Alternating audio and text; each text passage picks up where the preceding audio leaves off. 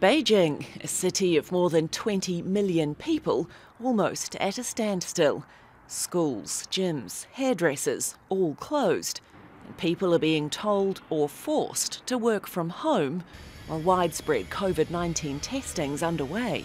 我们要努力与病毒赛跑。 We must work hard to race against the virus, adhere to the 24 hour treatment rule, carry out the epidemiological investigations, controls, and detection in a fast manner, and speed up the whole process. But with the toughening restrictions in Beijing and the weeks of lockdown misery in the biggest city, Shanghai, the World Health Organization's issued rare criticism of China's zero COVID strategy. We have uh, discussed about this issue with um, uh, Chinese uh, experts, uh, and we uh, indicated that the approach, um, uh, you know, uh, will not be sustainable. And considering uh, the uh, behavior of the virus, uh, I think a shift will be very important. Experts suggest China could struggle to find a way out because of low vaccination rates in those aged over 60.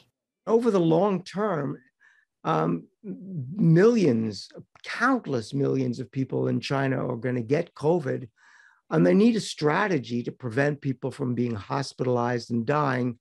And that really means uh, effective uh, vaccines and high penetration, particularly among the elderly and the vulnerable. And that's not happening in China. China's policies have caused anger and anguish for separating children from parents and putting those without symptoms in with others who are unwell. There have been rare protests too, with residents in Shanghai banging pots in frustration over weeks spent indoors. Here, crowds faced off with police in protective clothing because their homes were being turned into temporary quarantine centres.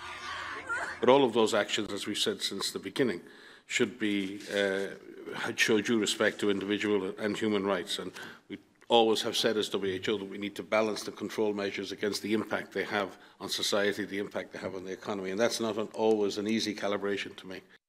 While other countries who've shared a zero COVID approach are beginning to transition to living with the virus, China is yet to move on.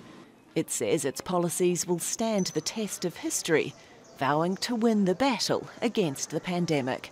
Alexi O'Brien, Al Jazeera.